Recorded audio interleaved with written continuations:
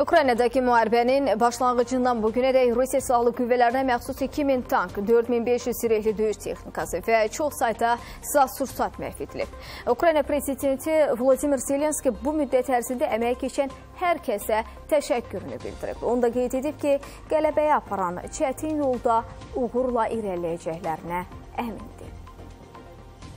Дорогий український народ, Müqavimətimizin azadlıq, müstəqillik uğrunda mübarizəmizin 200-cü gününü geridə qoyuruq. Bu 200 gündə biz çox şeyə nail olduq.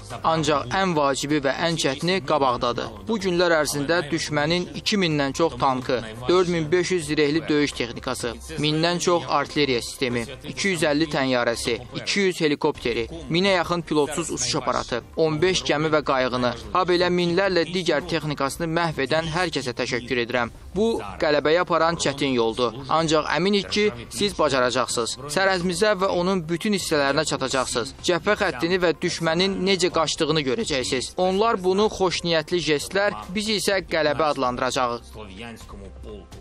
Thank you.